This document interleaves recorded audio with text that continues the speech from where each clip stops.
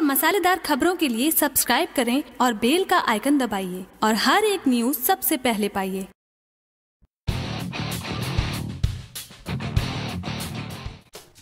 भोजपुरी फ़िल्मों के सुपरस्टार पवन सिंह का जलवा एक बार फिर से यूट्यूब पर चला है। जी हाँ सुपरस्टार पवन सिंह और मनी भट्टाचार्य पर फिल्माया हुआ रोमांटिक गाना पलंगिया सोने ना दिया। यूट्यूब पर एक करोड़ व्यू पार कर एक नया रिकॉर्ड फिर रच दिया है। जी हाँ आपको बता दें कि पलंगिया सोने ना दिया यह गाना सुपरस्टार पवन सिंह की फ़िल्म वांटेड का गाना है। इस गाने में पवन सिंह और मनी भट्टाचार्य का जोरदार रोमांस दिखाया गया है, जो दर्शकों को काफ़ी ज़्यादा पसंद आ रहा है। वैसे तो पवन सिंह के कई गाने एक करोड़ से ज़्यादा व्यू है, लेकिन ताज़ा रिपोर्ट के अनुसार फ़िल्म वांटेड का यह पहला गाना है जो पवन सिंह का यह गाना एक करोड़ से ज़्यादा व्यू हो चुकी है। जी हाँ आपको बता दें कि पलंगे सोने ना दिया गाना आप यूट्यूब पर वेब म्यूज़िक के ऑफिशियली यूट्यूब चैनल पर देख सकते हैं। अगर आप लोगों ने अभी तक पवन सिंह और मनी भट्टाचार्य का यह गाना अभी तक नहीं देखा है तो एक बार यूट्यूब पर जाकर ज़रूर देखें और अपनी प्रतिक्रिया कमेंट बॉक्स में ज़रूर बताएँ। वैसे आपको बता दें कि सुपरस्टार पवन सिंह की फ़िल्म वांटेड भोजपुरिया बॉक्स ऑफ़िस पर तीसरे सप्ताह शानदार प्रवेश कर लिया है।